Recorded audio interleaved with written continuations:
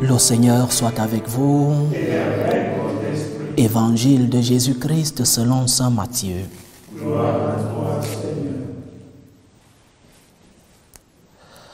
En ce temps-là, Jésus disait à ses disciples, Ce que vous faites pour devenir des justes, évitez de l'accomplir devant les hommes pour vous faire remarquer.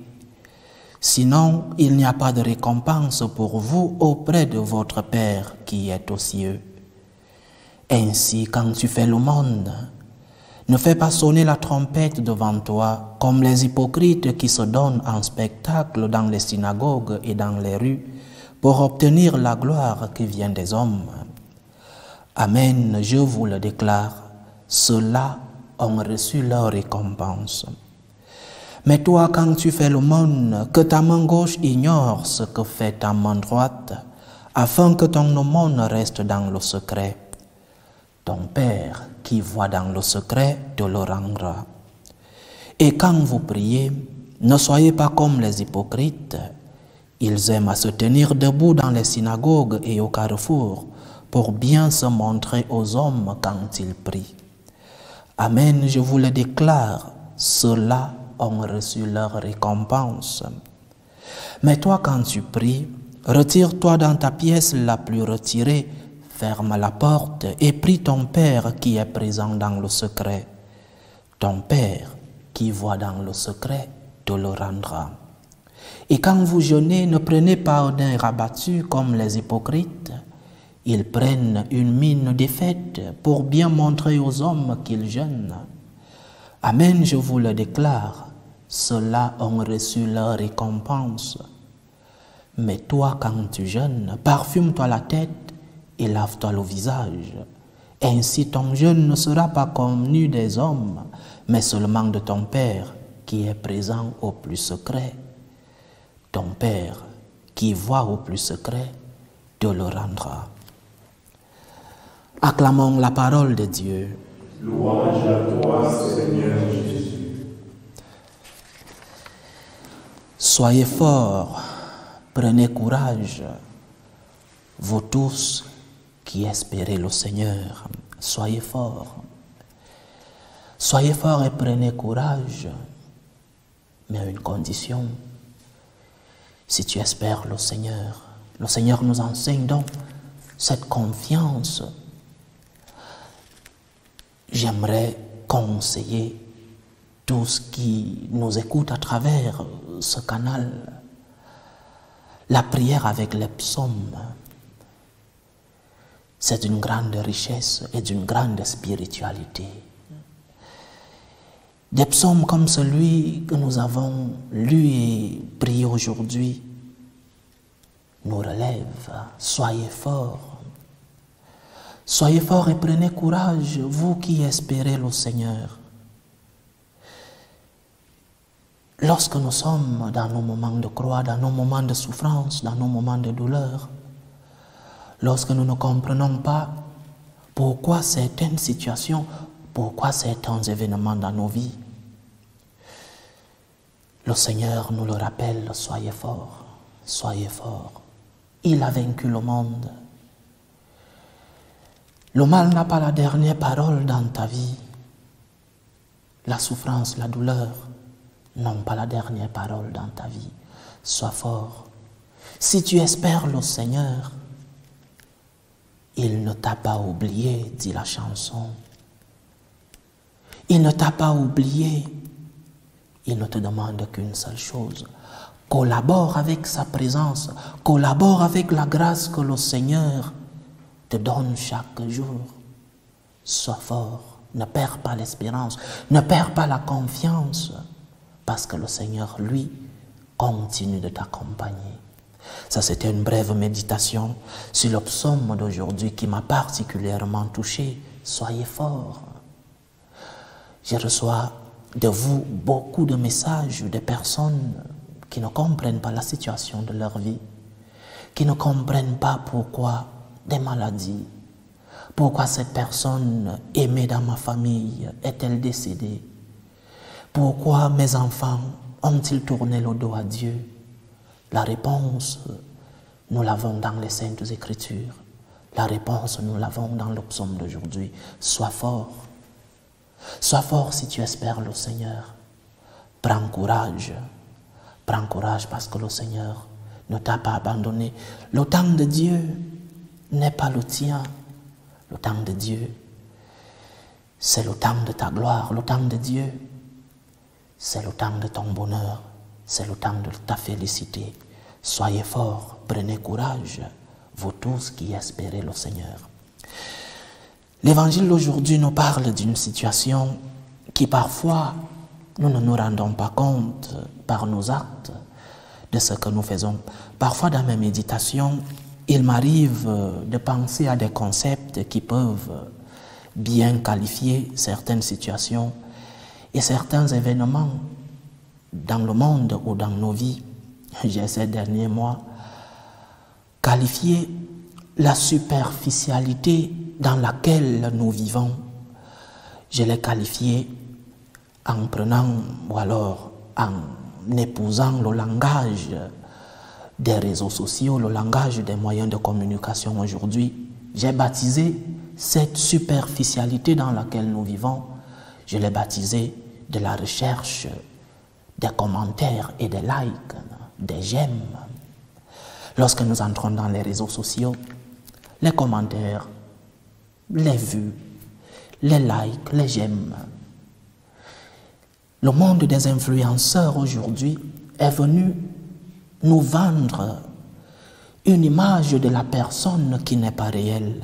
Plus tu as des likes, plus tu as des commentaires, plus tu as des vues, ton influence est plus ou moins grande. Pourquoi j'évoque ce concept dans notre méditation d'aujourd'hui? La superficialité dans laquelle nous vivons. Notre vie est si superficielle que parfois nous dépendons d'un like, d'un j'aime, d'un commentaire ou d'une visualisation sur Internet ou dans nos vies réelles, dans nos vies pratiques. Parfois, notre humeur dépend de la visualisation ou d'un commentaire de ceux qui vivent autour de nous. Parfois, notre bonheur, nous le mettons entre les mains de ceux qui vivent autour de nous, entre les mains des autres. Le Seigneur nous dit aujourd'hui, faites attention. Faites attention de pratiquer et de publier vos bonnes œuvres à la recherche de la reconnaissance, à la recherche des applaudissements, pour revenir dans le monde des réseaux sociaux, à la recherche des, j'aime, des commentaires, des vues. Avec cette expression, le Seigneur va tourner notre regard sur quelque chose dont nous ne sommes pas toujours conscients dans notre vie pratique. La finalité de tes actes. Pose-toi la question. Pourquoi je fais le bien? Quelle est la motivation de mes actes? Quelle est la finalité? Qu'est-ce que je recherche dans mes œuvres? Lorsque je cherche le bien, quelle est la première motivation? Et après, il y aura d'autres motivations qui seront secondaires. Mais quelle est la première motivation de tes actes? La recherche des applaudissements, la recherche de la reconnaissance, la recherche des commentaires, la recherche des vues sur Internet. Quelle est la première de tes motivations? Pour revenir dans notre spiritualité comme franciscain de Marie, pourquoi agis-tu? C'est la question que nous nous posons. Quelle est la motivation qui fait bouger ton cœur pour que tu puisses faire le bien? Si tes actes ne sont basés que sur la recherche de la reconnaissance d'un prochain, si tes actes ne sont basés que sur la recherche du sourire de ceux qui vivent autour de toi, alors le bonheur que tu recherches, je suis désolé de te le dire, tu ne le trouveras pas. Parce que quelle doit être notre première motivation? Quel doit être l'objectif, la finalité de nos actes? Ou alors, revenons dans les réseaux sociaux, Quel est ton public Qui doit te mettre un j'aime dans ta vie? La première motivation de tes actes doit être le pour toi Jésus. Pour toi je fais le bien. Pas pour rechercher une reconnaissance, pas pour rechercher un applaudissement, pas pour rechercher un j'aime, un sourire, par amour pour toi Seigneur.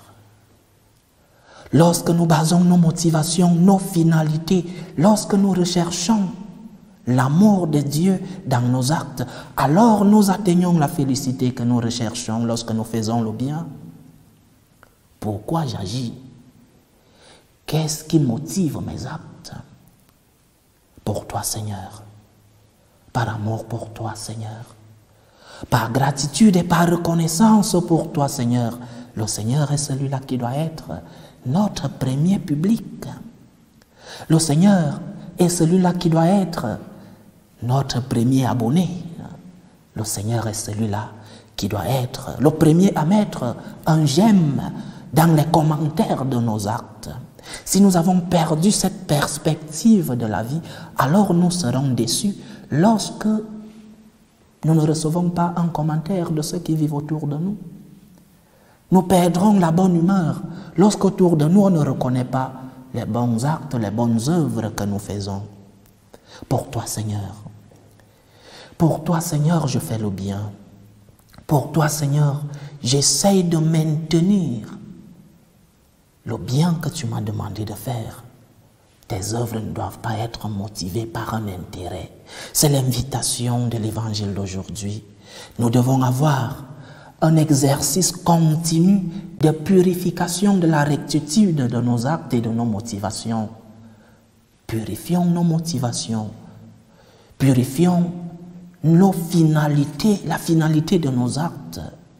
Exercice continu de purification de la rectitude de nos intentions.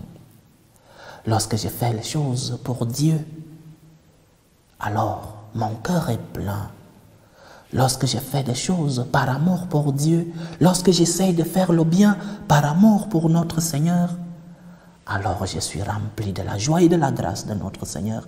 Et le Seigneur nous le dit, ton Père qui voit dans le secret, te le rendra.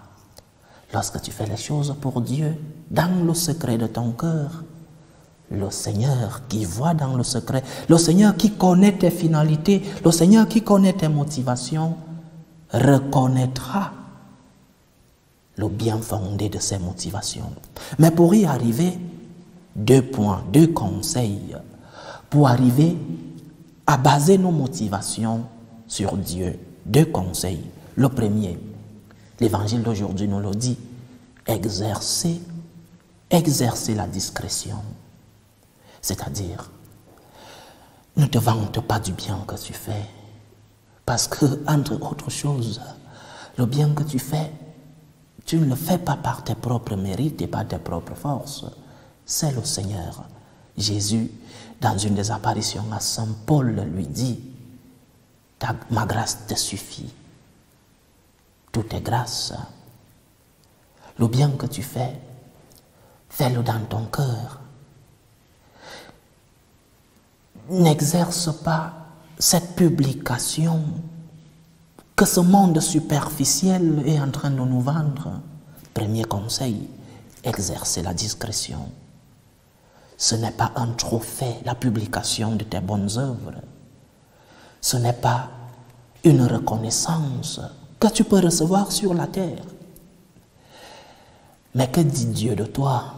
La discrétion est une manière de purifier nos motivations. La discrétion est une manière de purifier l'intention première des actes que nous faisons. Et le deuxième conseil, vivre en présence de Dieu. Lorsque tu vis en présence de ton Seigneur, lui-même, par ses conseils, par ses grâces, par sa lumière, il guide les pas de tes actes. Il est celui qui te connaît et il est celui qui te reconnaît. Il est celui qui sonde terrain, qui est dans ton cœur. Il est aussi celui-là qui saura reconnaître le bien que tu fais. Il te le dit, je le répète, ton Père qui est dans le secret te le rendra. Alors, chers frères, alors, chères sœurs, ne recherche pas les likes, ne recherche pas les commentaires, ne recherche pas les vues. Cherche le like le plus important de ta vie. Cherche le commentaire le plus important de ta vie. Le commentaire de la bouche du Seigneur. Que le Seigneur soit ton premier abonné. Que le Seigneur soit celui-là qui vient en premier commenter tes actes. Par toi, Seigneur, nous disons dans l'Eucharistie. Par lui, avec lui et en lui. Par toi, Seigneur, avec toi, Seigneur, et en toi, Seigneur. Aide-moi à agir pour toi. Aide-moi à agir en ta présence. Loué soit Jésus-Christ.